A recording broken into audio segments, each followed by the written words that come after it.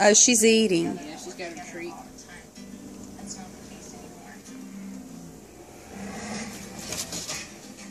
aiding and abetting massive acts of What?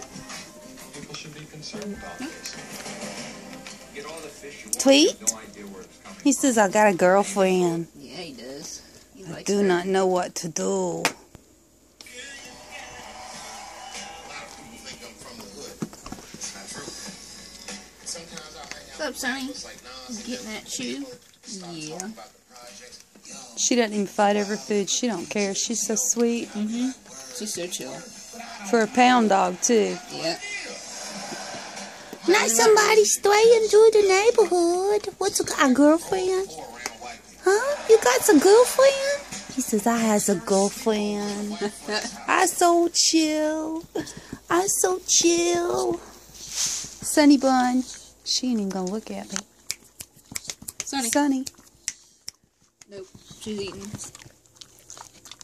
She's a pretty thing. Mm-hmm. Look at what you can get at the dog pound. People, y'all need to adopt dogs from the dog pound.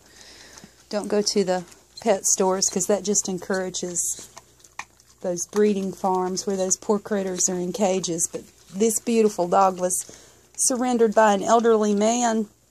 She was spayed last Thursday, and Tracy got her fre- fresh off the press today. And she's a really nice girl. She they think she's about two years old. So she's our new baby.